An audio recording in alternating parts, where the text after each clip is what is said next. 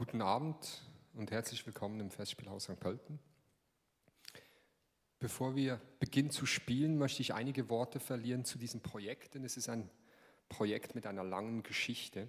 Hier sehen Sie etwas, das sieht aus wie ein Entenschnabel, das ist aber ein Stück von Nicola Matthäus, ähm, zusammen ähm, äh, verdichtet auf so eine Zeichnung, die dann als Sprungbrett diente von originalen Barock ähm, original in Anführungszeichen, weil wir wissen ja nicht wirklich, wie das geklungen hat, ähm, ähm, vom Barocken dann hinüber in andere Sprachen.